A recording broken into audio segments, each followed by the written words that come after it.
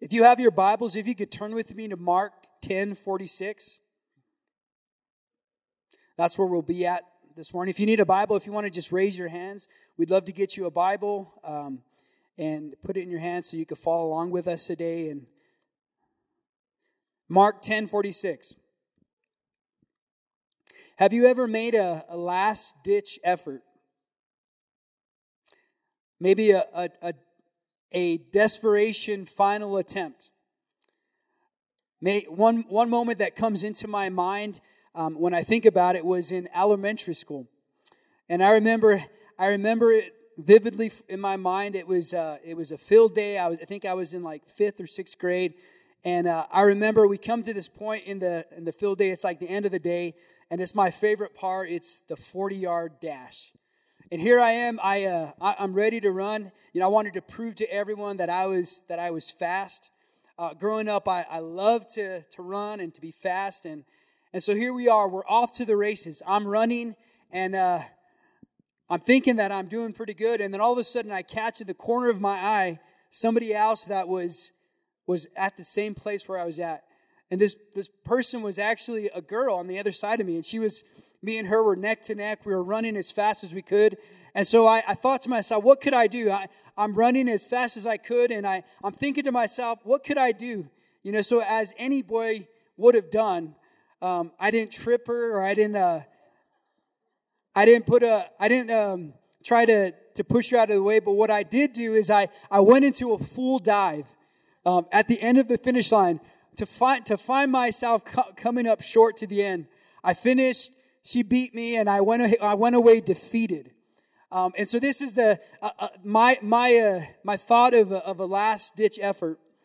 Um, well, in the passage this morning, we come to this point in Mark, in Mark 10 46, that we'll meet a man named Bartimaeus, who, unlike, this, who, unlike my story, was victorious in the ending, as he makes a, his last desperate effort to encounter Jesus as he is passing by. So, our, our big idea this morning is that we're saved and we're healed by our faith in Jesus Christ. We're saved and healed by our faith in Christ. Let's read in Mark 10 46. Now they came to Jericho. And as he went out to Jericho with his disciples and a great multitude, blind Bartimaeus, the son of Timaeus, sat by the road begging. And when he heard that it was Jesus of Nazareth, he began to cry out and say, Jesus, son of David, have mercy on me. Then many warned him to be quiet. But he cried out all the more, Son of David, have mercy on me. And so Jesus stood still and commanded him to be called. Then they called the blind man, saying to him, Be of good cheer, rise, he is calling you. And throwing aside his garment, he rose and came to Jesus. So Jesus answered and said to him, What do you want me to do for you?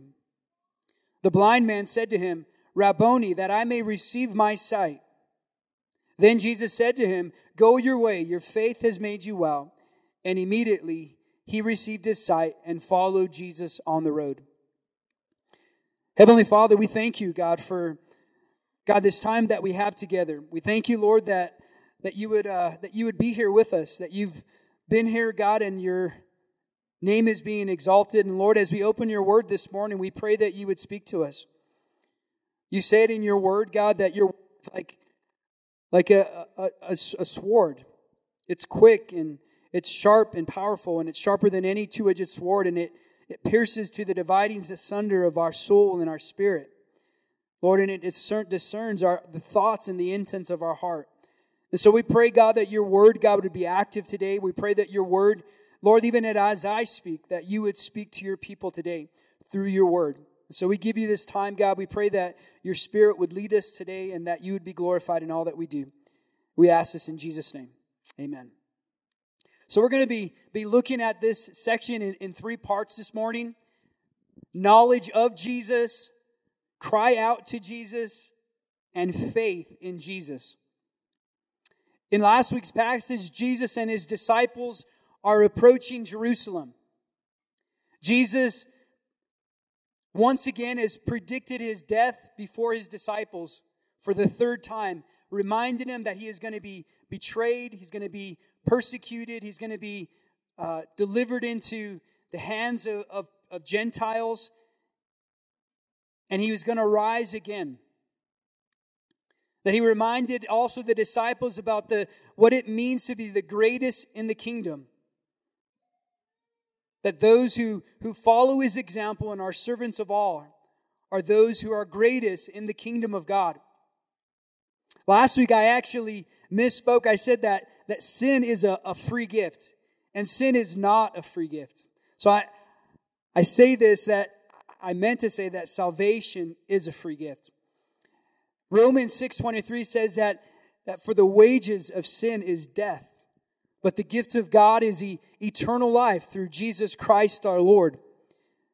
And so as we dive in this morning, our, our hearts and our desires for us to, to look at this passage, that to see what is God speaking to us. What is God trying to communicate to us through His Word? Today we, we see Jesus is full of mercy. And so let's jump in in, in Mark 10 46. And it says, Now they came to Jericho, and as they went out of Jericho with his disciples, and a great multitude, blind Bartimaeus, the son of Timaeus, sat by the road begging. And so here we are. The, Jesus and his disciples are traveling through. They're making their way to Jerusalem. And here they find themselves. They're on the outskirts of Jericho, is what it, what it says. And Jericho, if you don't know, is 18 miles away from Jerusalem. That Jesus, as we've talked about in the last few weeks, that Jesus is on his way to Jerusalem where he will give his life on the cross. That this city, Jericho, was a major city on the edge of the Judean wilderness. From Jericho, there would be, they would make a 3,500 foot climb to Jerusalem, where Jesus would, would give up his life. And, and this is the, the last healing here in the, in the Gospel of Mark that is recorded that it's interesting as we think about what's being described to us is that it's significant and it's important to see all the details that we're given. We're given this man's name. His name is Bartimaeus. We know that he is blind. We know that he is he is a beggar and he's sitting on the road. There's so many that are, are traveling to Jerusalem here at this time. That many would have been on their way to, to celebrate the Passover. That there were hundreds, if not thousands of people that are, are coming along with the disciples and Jesus as Jesus is, is making his way into Jerusalem.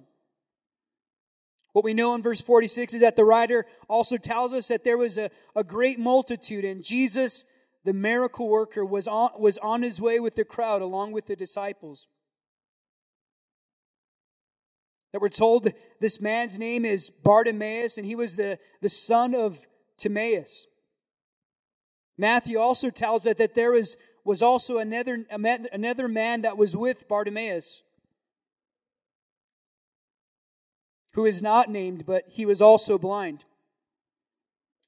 But Mark, as we dive into this, is wanting to give us, is wanting us to, to focus our attention on Bartimaeus, who is who probably was more vocal than all than the other blind men. So we see that, that Bartimaeus is on the road and he is he's begging. He's begging on the road.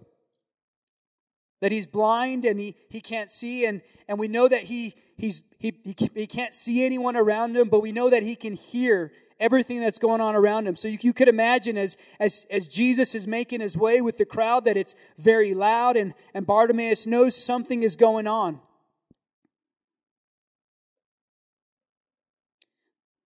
that Bartimaeus was on the road begging.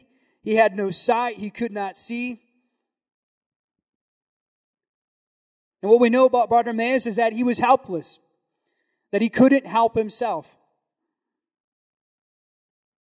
That Bartimaeus was, was unremarkable. That Bartimaeus couldn't provide for himself because he was blind. So he's on the road begging for help that he also didn't have status or anything that would, would attract favor. That most people probably wanted to, to avoid Bartimaeus. And there he was begging, asking people for help. He probably didn't realize that, that Jesus would be, would be coming near to him as he's traveling down the road, as Jesus is traveling. I think what's, what's incredible to think of is that, is that God knew. Is that God knew that, that, that Jesus would be coming at that moment, at that right time, right down the, the place where Bartimaeus would be. And I think it's so often intriguing to think about God's purpose and God's sovereignty. That God is not in heaven thinking about how is he going how is he going to react and how is he going to do certain things, but God is sovereign over everything in this earth. And as Bartimaeus is, is sitting on the road, Jesus is getting ready to make his way right beside him. Verse 47 says, And when, and when he heard that it was Jesus of Nazareth, he began to cry out and say, Jesus, son of David, have mercy on me. That we're told that it, it was at this time when Jesus was going to Jericho that Bartimaeus hears of it, he catches wind of it, and he is told that Jesus of Nazareth is passing by. And for Bartimaeus, you see that that's all that Bartimaeus needed to hear. That he began to cry out and he and he and as as as it says that he says, Jesus, son of David, have mercy on me. That son of David is a is a messianic title. And by Bartimaeus declaring this, he was he was really expressing his faith in Jesus that he has a, a knowledge of Jesus, that somehow he heard of Jesus, that he heard that Jesus is, is able to heal, that he heard that Jesus was near, that he had a knowledge of Jesus, and that this was a, a, a messianic declaration of who Jesus was. It was also a, a plea of, of deliverance. Here, here Bartimaeus was, was humbly crying out to Jesus. He was crying out for mercy. I like to think of it as, as he was lifting up like an SOS. You know, it's like an, an emergency call. And I think what's so what's so impactful for this, if you can just imagine this in, with your eyes and visualize that here Bartimaeus is, he's sitting on the road, he can't see anything, but he hears that Jesus is coming by. And so what does he do? The only thing that he can do, he uses his voice and he declares to Jesus who he is. Jesus, son of, son of David, have mercy on me. Psalm 34, 18 says, the, the Lord is close to the brokenhearted. He rescues those whose spirits are crushed. Luke 18, 13 says, and the, and the tax collector standing afar off would not so much as raise his eyes to heaven, but beat his breast, saying, God, be merciful to me, a sinner. What we need to know about this, this verse here is that, that Jesus is, is giving an example of, of prayer and the prayer that is heard by God. That who's also praying in this account is that there's a Pharisee that's also praying to God. And the Pharisee is actually saying, God, I thank you that I'm not like these adulterers. God, I'm thank you, I thank you that I'm not like these extortioners. God, you see that I, I fast two times a week. The Pharisee is saying this. But here the, the tax collector cries out to cries out to God and he says, God be merciful to me, a sinner. He beats his breast. And Jesus goes on to say that this is the prayer that is heard in heaven. The prayer for the one that, that realizes his insufficiency, the one that realizes that he needs God's mercy, that he doesn't even want to look to heaven, that he beats his breast and he says, God, have mercy on me. There's something about mercy that as we see it throughout Scripture, that God responds to, to showing mercy to those who ask for it to those who, who are brokenhearted, to those who confess and express their need for, for mercy. Here we have Bartimaeus, and he's, he's crying out for the mercy of Jesus. What is, what is mercy? Mercy is, is pity. Mercy is compassion for the miserable. In fact, mercy's object is misery. So we could say that this, this man is in, is in misery. He's blind and he's, he's crying out for the, to the God of mercy. That he's crying out to, to Jesus who is full of compassion. And I believe that it's, it's not until we get to, get to this point of, of crying out to God. Maybe you've never put your faith and your hope in Jesus, but I believe that it's not until we get to the end of ourselves and we cry out to God and we say, God, I need you, God, I can't go on, I can't do this anymore on my own. That God responds and He reveals Himself to us in our lives. We talked about this idea last week that, that, that we must realize our, our poor state, our bankruptcy before the Lord, to realize that, that even though we may have it think what we, what we perceive to be figured out on the outside, everything seems to be going our way, everything seems to be happening, we must realize that, that we're bankrupt and that we're poor in spirit in order for us to realize our need for Jesus. And it's not until we understand that we realize that, our, that we're bankrupt before God when it comes to, to righteousness, when it comes to our sin that is, has separated, separated us from God. That we have nothing in ourselves to, to make us right before God. I said this before in Isaiah, it says that, that our righteousness is as, is as filthy rags before the Lord. It's not until we understand and it's not until we realize our need that we raise our voice and we say, God, I need you. That Bartimaeus realized his, his need for Jesus. I love the story of, of the, the prodigal son. The Bible says that he was that he asked for his inheritance before his father died. And so he, the Bible declares that he squandered everything he had on, on wild living. And he gets to the point where he, he finds himself in the pig's pen. And he's at a place of, of desperation. He's at a place of, of realizing that he starts thinking to himself, man, I, I have it so much better in my father's house. That even if I were to be just a servant in my father's house, it would be so much better. And he, and he gets to the, to the end of himself and he realizes, you know what? I'm going to go to my father. I'm going to repent and I'm going to ask my father to receive me and let me be a, a, a, hired servant in his house. And I love the picture that if you read it, it's in Luke 15. It, it says that the father runs to him. What a picture that, that God responds to our cries. That God responds to our cry for mercy. The Bible says that, that he met him with compassion and he runs to him and he receives him and he restores him and he calls for a feast to happen.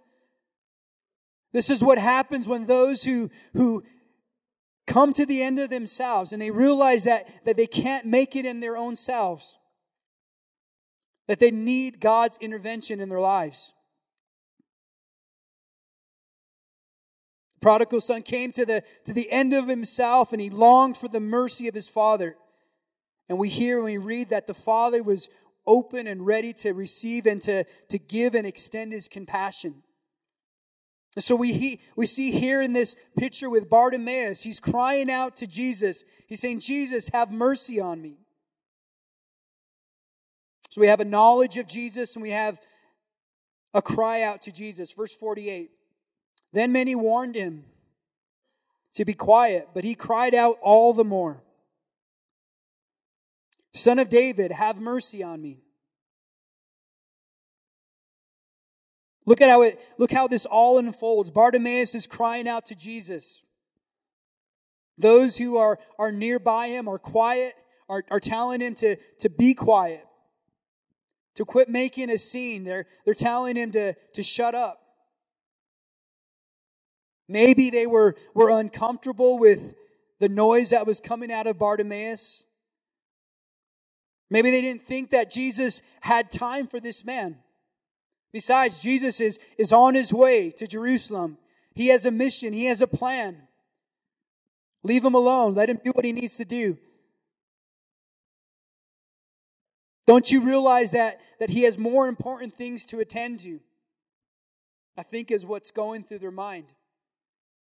Jesus is headed to Jerusalem. The religious leaders, the, the scribes, and the Pharisees are, are waiting to convict Jesus. They're waiting to seize him, they're waiting to arrest him. But what does Bartimaeus do? Scripture tells us that he, he cried out all the more.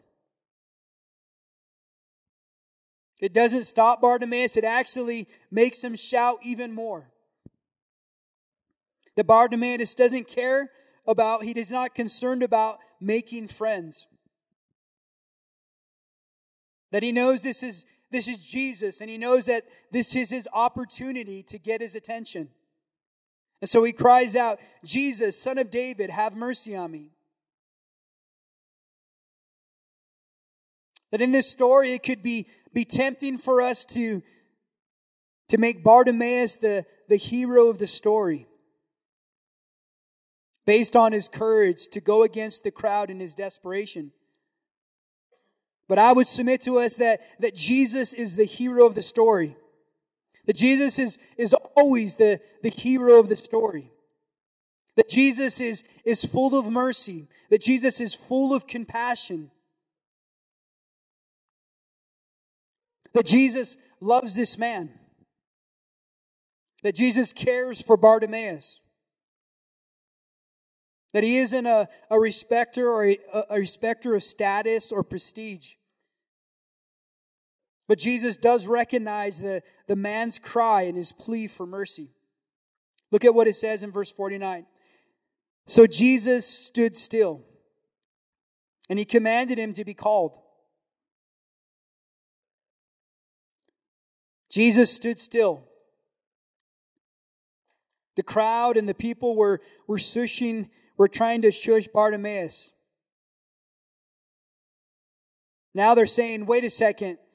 Actually, get up, get up, cheer up. He's actually calling you. Jesus is calling you. Then they called the blind man, saying to him, Be of good cheer, rise, for he is calling you. I think here in this Bartimaeus, I think that we see that that if we really look hard, that we can really see ourselves in Bartimaeus. That we can see that, that we are very much like him. That we aren't, aren't remarkable. That many of us will probably never be added to history books. That many of us are not significant when it comes to net worth. But like Bartimaeus, we also have need have a need. That we need Jesus to, to intervene in our lives. That in fact we, we don't have the power to, to save ourselves. That we can't atone for our sins. That we're actually helpless apart from the mercy and the grace of God.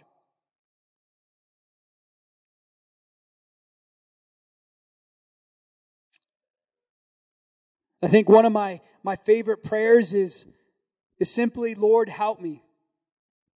Sometimes you get to the point where you don't know what to pray for, you don't know what to do, and that you just lift up a prayer and you say, Lord, help me.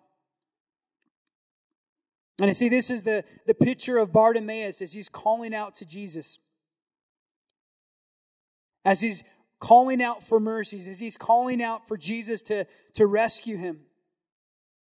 And I love this that Jesus hears him, that he, that he stands still, and he tells him that he's, he's ready to see him. That here is Jesus on his way to Jerusalem.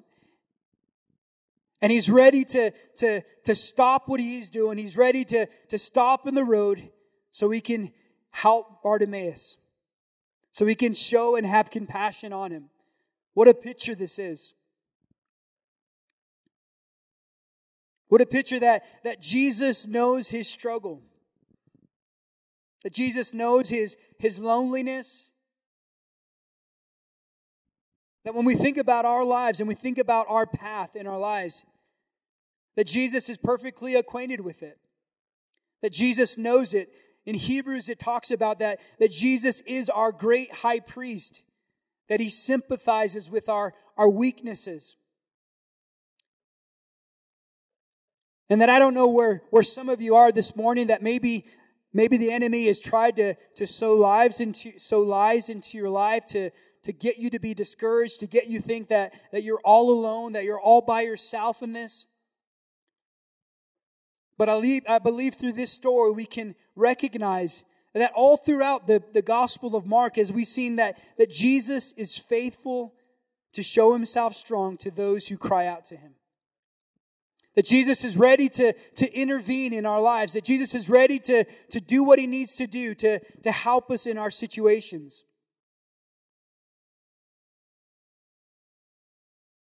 That we need Jesus to, to rescue us. That we need God's mercy and grace to, to come to our rescue. That we need the mercy of Jesus the Messiah. And I love this picture as we as we look at Bartimaeus that Jesus came for the hopeless. We just read it last week for verse verse 45, 1045 for even the son of man did not come to be served but to serve and to give his life as a ransom for many. And here it is again that Jesus is, is demonstrating that he's ready to, to intervene, that he's ready to, to serve and not to be served. That Jesus has come for the, for the outcasts.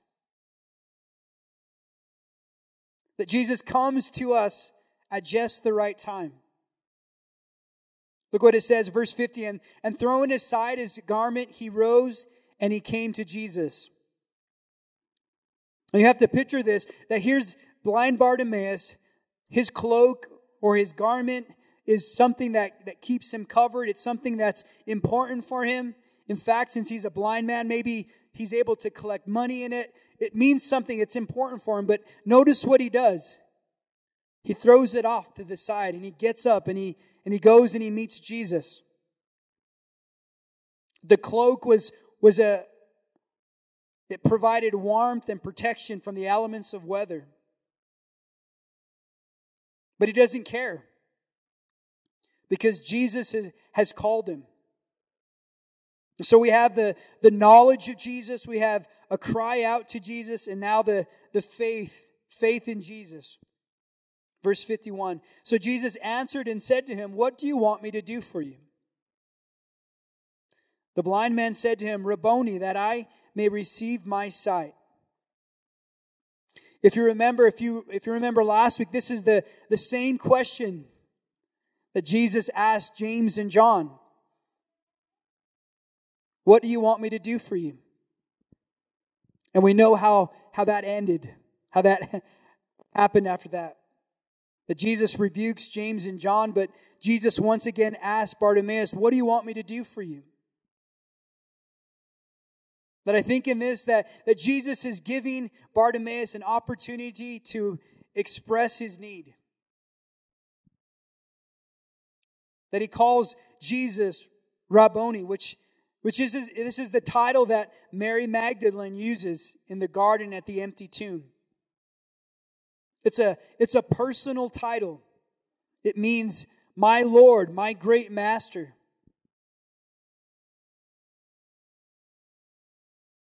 He's crying out to Jesus. He's expressing his faith in Jesus. Surely, this is a, a, moment that Jesus is demonstrating the Son of Man did not come to be served, but to serve. And this is Jesus, the mighty and wonderful, that he's full of compassion, that he's full of mercy, and he's ready to demonstrate it to this man. That Jesus is, is ready to meet this man's need. And I just think of it, how wonderful it is that we have in Jesus Christ somebody that, that perfectly can relate with us, someone that perfectly knows our struggle, that he knows our, our weaknesses, that he knows the things that, that nobody else knows in our life, the things that we struggle with, the things that, that the enemy speaks to us about. That we have in Jesus someone who is, is perfectly able to relate to us, to bear with us.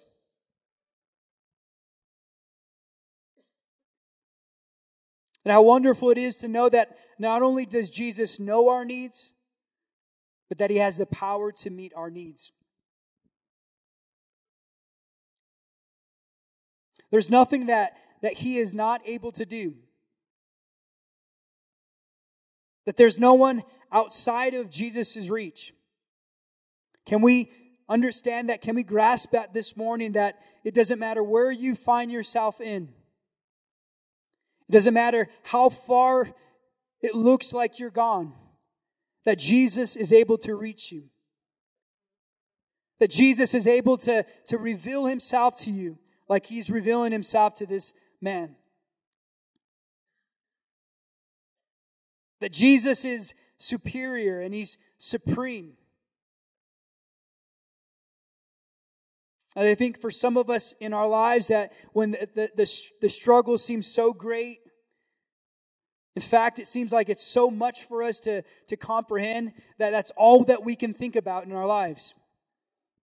It's all that, that we can worry about in our lives that, that God is wanting to, to demonstrate to us that He is greater than anything that we experience in this life.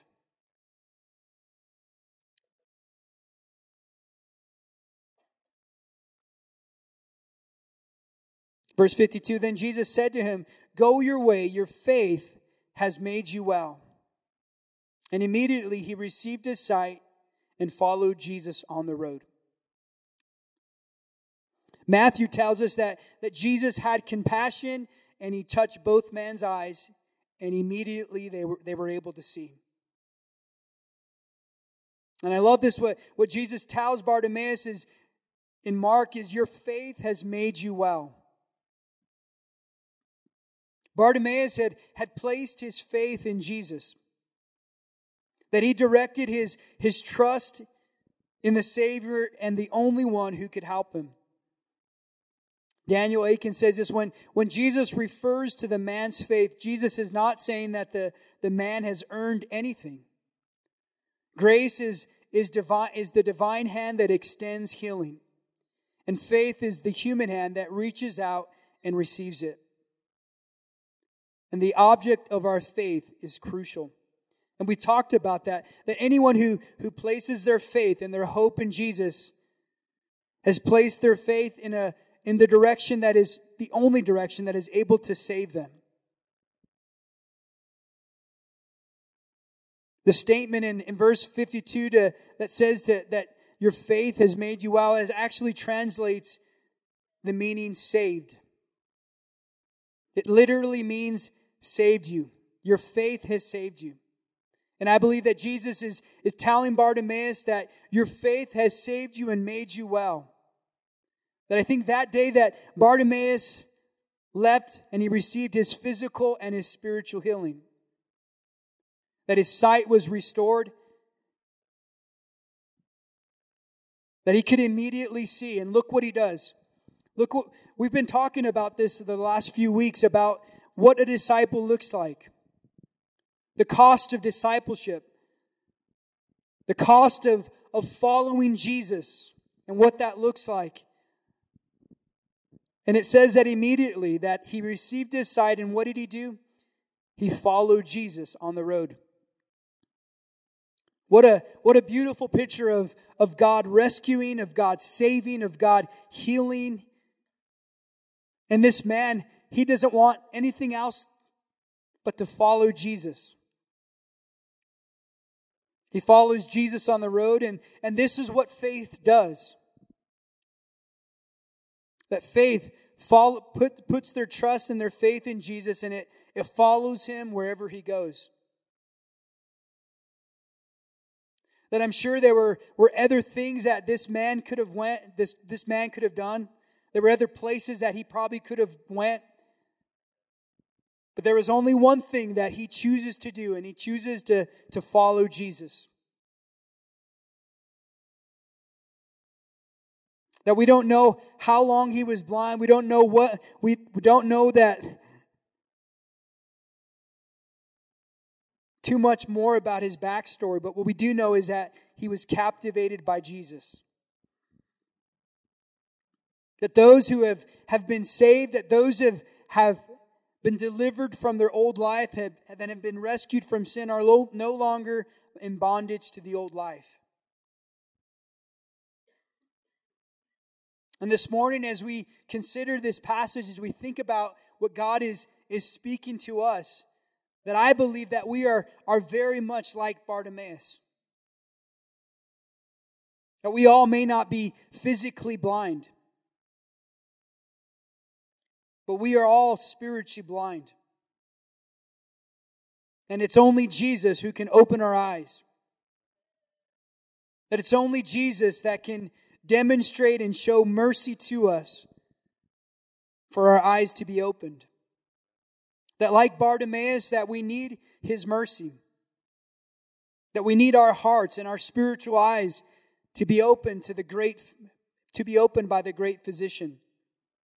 Look at this 2 Corinthians 4 6 says, For it is God who commanded the light to shine out of darkness, and who has shone in our hearts to give the light of the knowledge of the glory of God in the face of Jesus Christ. What is it saying is that, that we need His glory to shine in our hearts. That each one of us that have that hasn't put their faith and their trust, the Bible describes us that we're in, we're in spiritual darkness. That we need Jesus to, and His glory to shine in our hearts. That if you have never seen Jesus like this, that my prayer this morning is that you would ask Jesus to reveal Himself to you now. That this is our hope and our confidence in Jesus Christ. That we need Jesus to give us spiritual sight for us to see. That we need to be able to, to behold the, the glory of God that is in the face of Jesus. And that you would realize that, that Jesus is the treasure and our, our great reward. That when you put your faith and your trust in Jesus, that you've put your faith and trust in the only one who's able to, to save you and rescue you. So, as we conclude this this morning, as this new week begins, may we can consider what needs you have. And know that, that Jesus already knows your needs.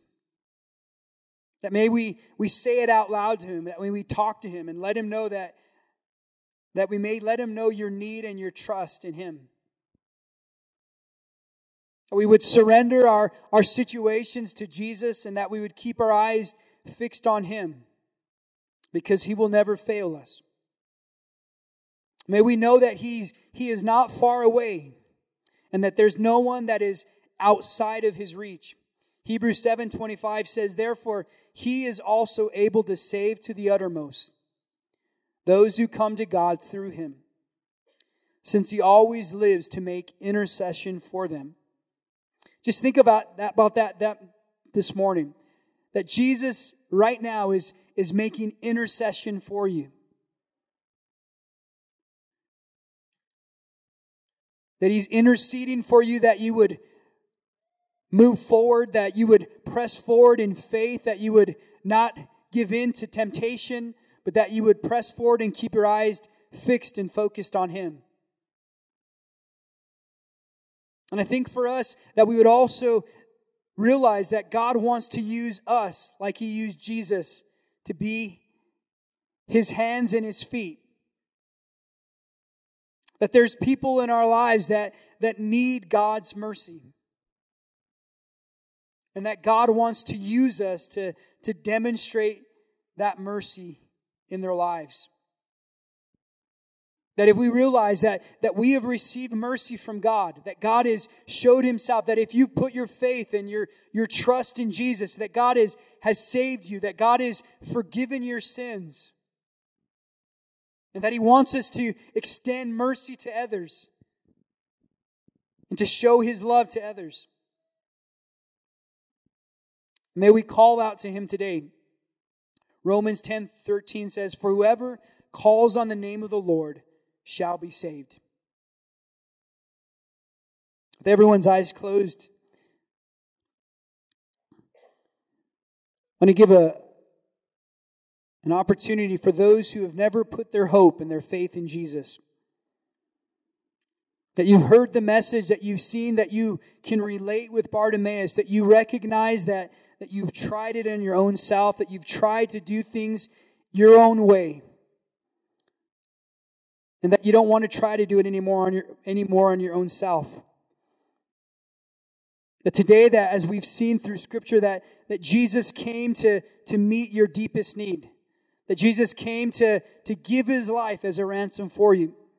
And so this morning, if you've never put your hope and your faith in Jesus, and you would like to do that this morning, I would just ask you just to, to just to put up your hand this morning. When we think about the cross and we think about what, what Jesus has done, thank you, I see you. When we think about what Christ has done in our lives, that he's went to the cross, that he's put his everything down on the line, that he gave his very best for us. That the Bible says that our, our sins have separated us from God. And this morning, if that's you and you want your sins to be forgiven and you want to have new life in Jesus, just go ahead and keep your hand raised this morning. I want to lead you in a prayer this morning. Can we all just say this? Say, Heavenly Father, we thank you for the cross and for paying the high price for our sins. We acknowledge that Jesus came to this earth to die for our sins. We acknowledge that we're sinners and that we need Jesus in our lives. Take away my sins and help me to love you and to trust in you. In Jesus' name we pray. So, Father, I thank you, Lord. I thank you for those who, who put your, their faith and trust in you. We thank you, God, that you hear us.